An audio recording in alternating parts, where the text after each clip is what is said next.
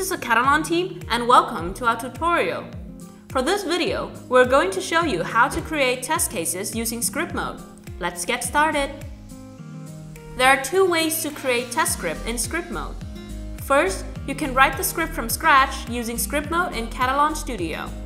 The other option is you modify existing test cases that you create using manual mode.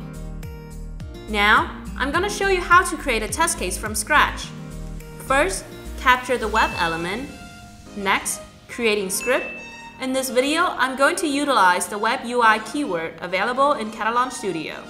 Then you run your test. I'm going to also show you some alternative for some other test cases. Now that you know the step, I will create a test case testing the login to make an appointment flow in a web application for you to see. This is my new test case that I just created. See how every tab is still blank? To build a test case in script mode, first you need to gather all the elements from the page that you want to test. Navigate to the top bar, click on the Spy Web element, and this tab will pop up.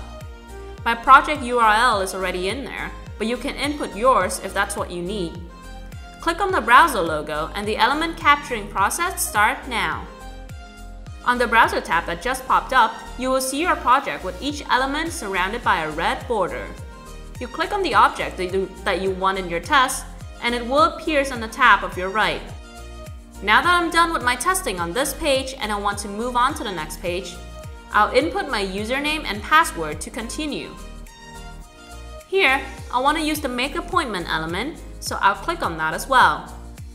Now that's all of my elements appear on this right tab, let me go through what you're seeing here.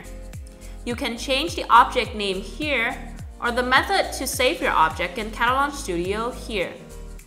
This box shows you all the specific ways that Katalon Studio save your project. On a side note, if you're using the Katalon Studio Enterprise version, this is where the self-healing mechanism get all of the pre-configured locator when enabled by default. And this box allows you to modify the initial address that Katalon used to locate an object. Verified and Highlight lets you verify each object you capture by highlighting the chosen object in red. Add Screenshot let you incorporate Katalon image-based testing into the capturing process, which I'll show you in some other tutorial. Now let me modify my object a bit and save my object into the repository. Now that you have your object ready, let's create a script.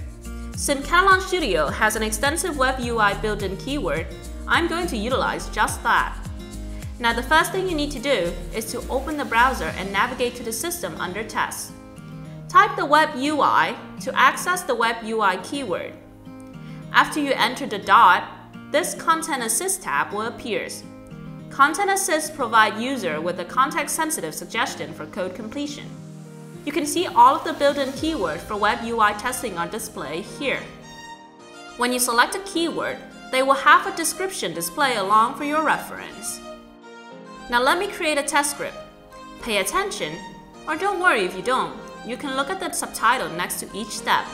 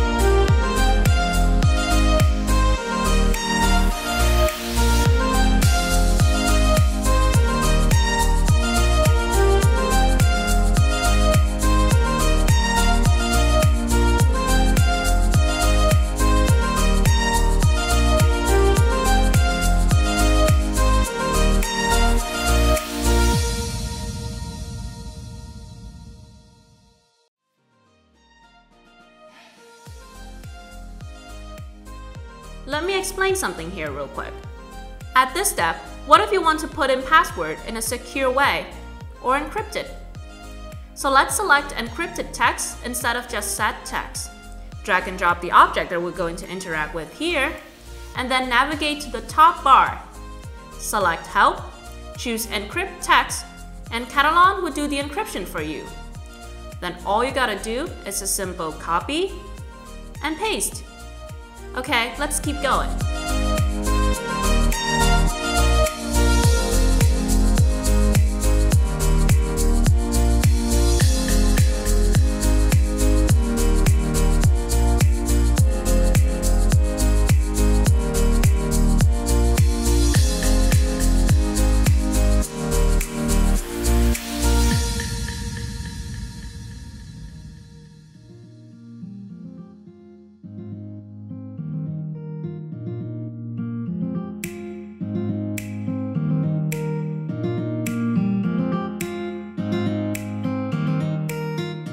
Before running your test, there's one extra step that I want to show you. Let's imagine that your test failed at some point before the close browser command, and therefore cannot close the browser because it can't reach there. So what if you still want to close your browser? This is where you use the tear down command. The tear down command can be used either as a post-test action or an if statement in the test. Here I'm using it as an if statement to make that even if on failure, Oh, it will still close the browser.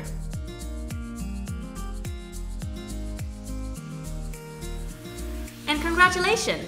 You've just created your test case using script mode. A side note before we run is that Katalon Studio automatically translate all of your script mode test case into a manual mode test case here. Really convenient, right? Now all you need to do is navigate to the toolbar, choose your favorite browser to run the test in, and then sit back, relax, and let Katalon do the hard work for you. Notice at the bottom bar, if everything is green or there's no red line, your test case is success. Now, what if you want to check if your SUT deny logs in when user enter the wrong username? So here, I'm going to have Katalon enter the wrong username. Therefore, I'm going to change keyword here to verify element not present, as in alerting Katalon that the make appointment object is not going to appear after I click on the login browser. Now let's run the test case again to see what happened. Supposedly, this test case will still have to pass if you do it right.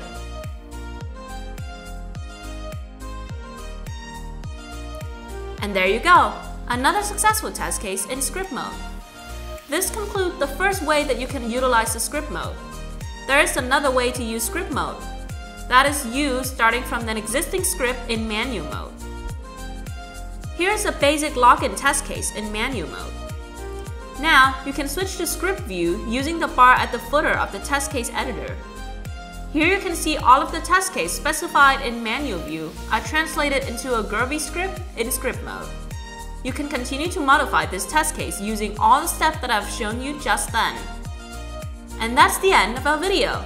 If you'd love to see more of us, hit subscribe and leave us a like or a comment. See you in our next tutorial.